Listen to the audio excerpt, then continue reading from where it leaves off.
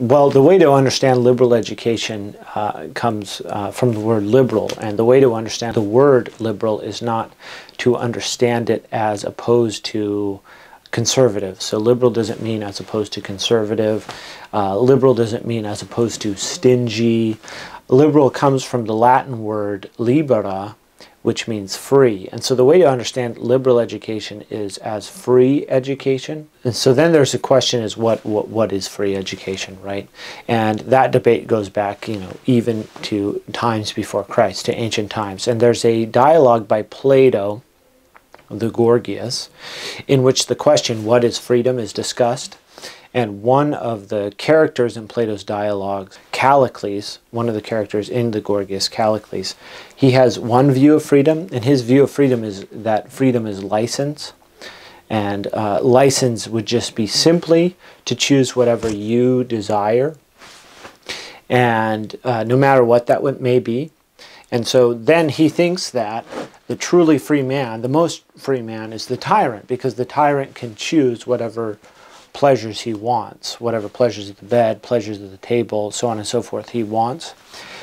Uh, but Socrates, the character Socrates in the dialogue, opposes that view and says that, in fact, the tyrant is the most slavish man, and because he doesn't choose what he truly desires, rather, he chooses what he thinks he desires and that's the distinction. So he doesn't, the, the tyrant doesn't know what will truly make him happy, and what's truly choice worthy will be what will make you happy.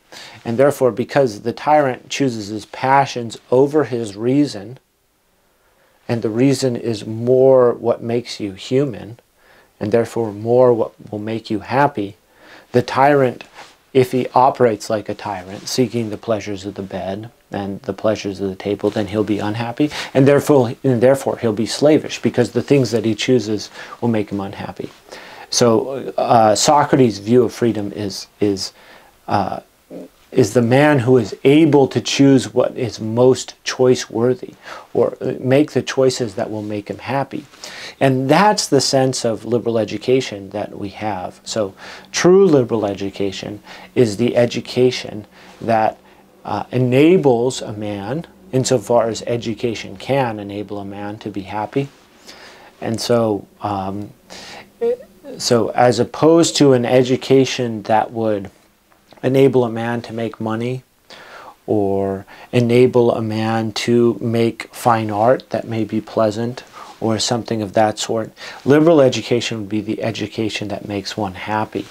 And and so then there's of course the further question of what sort of knowledge, which is what education gives, maybe not uh, exclusively but primarily, uh, what sort of education would enable one to be happy? And so, if so, to answer that question, you have to go back to well, what you have to go back to some sort of question about what is man and what would be fulfilling for man, and therefore you and therefore you have to look at man's reason because what's distinctive of a human being is his reason, and therefore in some way something that would an education that would fulfill his mind would be truly fulfilling for him. Uh, and, and, you know, a sign of this, there are maybe a number of signs, signs of this that you could take. One sign is just say the, the, um, the power that uh, the screen the, has, the technology has, has over us. So, you know, it, on the computer, you have things that uh, fulfill your senses and your imagination and even your intellect.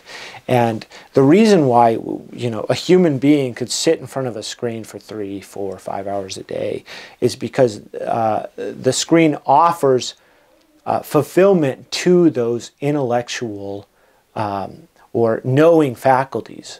Your knowing faculties are your sense, your imagination, your memory, your reason, and the screen offers that. And so the reason why the, the screen is so fulfilling of those faculties is because it offers something that's fulfilling of those fac faculties. Uh, and the reason why I bring that up is just because it's a sign that human beings desire to have their knowing faculties fulfilled. And therefore, a liberal education, an education choice worthy, would be an education that fulfills your knowing faculties. Uh, and then the question is, well, what education would fulfill your knowing faculties? And that then, therefore, would go, go back to, well, what would be most desirable to know? And uh, so, for example, uh, some of the, you know, uh, supposedly fathers of the conservative movement, say Allan Bloom or Leo Strauss, they think they think the the education in what is man that would be uh, truly fulfilling of your knowing faculties and that would make you happy. Um, but ultimately, uh, I think that fails because man is not a perfect being, and therefore, knowing about an imperfect being won't fulfill you. Rather, we desire to know things that are perfect, things that are truly true in the perfect sense, and therefore, we, we need to turn our gaze to something more noble and so the pagans thought that liberal education was finally ordered to metaphysics, because in metaphysics you study the first causes and ultimately the first of all causes, God. And so liberal education should be ordered to metaphysics. And if you're a Christian, like I am, then, then, you, then you think, well, there, there comes even a science above metaphysics, which is theology, which supersedes but does not exclude or is not in contradiction to metaphysics, that would um, that that is the study of the precepts revealed to us by God. So we think that God revealed certain truths to us, and then the consideration of those truths and the implication of those truths would be um, the most fulfilling education possible for a human being.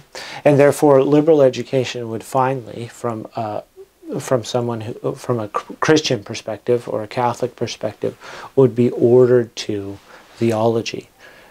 And then by ordering, taking theology of the apex, as the apex, then you need the tools to do philosophy. So then you, the, your education has to be ordered through metaphysics, because metaphysics gives you the ability to study theology and ethics and politics. And then to do those disciplines, you need further lower disciplines, and therefore you would need say, natural philosophy and science and poetics to do ethics.